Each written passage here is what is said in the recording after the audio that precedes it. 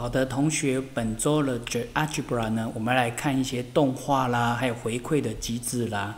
那首先呢，我们来看这个用铅笔画圆的这个动画。好，首先当你开 GeoGebra 的时候，它的界面会显示左边是代数区，右边是绘图区。那绘图区下面呢，有一个 S 坐标跟 Y 坐标。那么今天我们呃在这个动画中是不需要它的，所以我就先把它怎么样？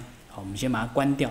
所以，我们在这个绘图区按一下，好，这个移动区按一下，好，这个显示或隐藏坐标轴，我们按一下，让它消失。那么，我们要让铅笔呢去做动态的画圆。那我们第一个，好，先选圆的工具。那我们就呃选择这个，好，圆心还有半径的数值，好，这个点一下，好。我们认点一个 A，所以它这里 A 就有坐标喽。好，不过我们不管它。好，我们半径好比说，我们呃把半径设为是三，按确定。好，那么这个就是一个圆的半径了。好，那么圆的半径已经有了之后呢，好，我们再来哦，呃，在这个心点的地方点一下，然后呢在圆上点一下。你看哦，好，当我移动按一下哈。好，再再点心点，这个心点是不是就会在这个圆上转圈圈？它不会跑到外面去哦。好，它是这个点应该叫做这个圆上的动点。好，那我们要弄一个铅笔插进去嘛？哈，好，在这个一二三第三个，好，下面有一个插入图片工具列，这里好找一下。然后注意哦，这是一个小技巧，你要插入一个铅笔的图案，那等一下铅笔呢要在这个圆上跑，所以呢。当你按到这个插入图片小工具以后，接下来你要选择这个动点 B，好，按一下，它就会显示啊，去找图的目录在哪里，那你就要去选择啦哈。好比说我已经先存好哈，这个铅笔一，好，那同学可以自己去 Google 找一些铅笔或其他的笔哈。那我就选铅笔一点 PNG，记得哦，这个 PNG 是说它诶能让背景是透明的，好，所以我按开启。好，那你看这个铅笔就跟着这个点在跑。不过，呃，就 Algebra 在这里有个小 bug，就是我插进来以后，它这边还有一个点，有一个参考点。那这个参考点，当然我要把它怎么样删掉啦？哈，我就对着这个 C 点按一下右键，好，按删除。好，先把它删掉。你看哦，这样子的话，这个当 B 移动，铅笔是不是也跟着动？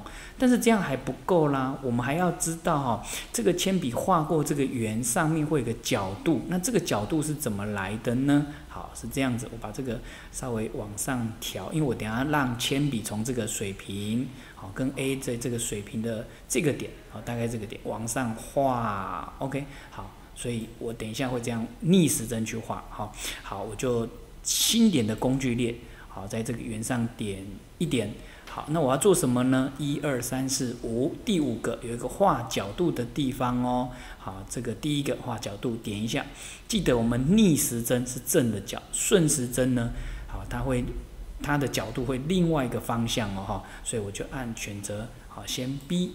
好，在 A，好，在 C，哎，你看这个就有一个角度出来了。好，然后呢，我现在让这个 C 有没有？好，就沿着这个让它跟 B 有没有重叠在一起？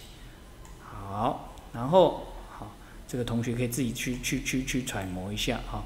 你看，当 B 这样画过来，好，或是等下我顺时针这样画，哎，我这里好像是顺时针画哈。好，这样画过来的时候，哎，它是不是就会显示角度啦？好，那当然，接下来我就要隐藏圆，好，隐藏圆，然后呢，隐藏这个 C 点，好，当然这个 B 点也要隐藏。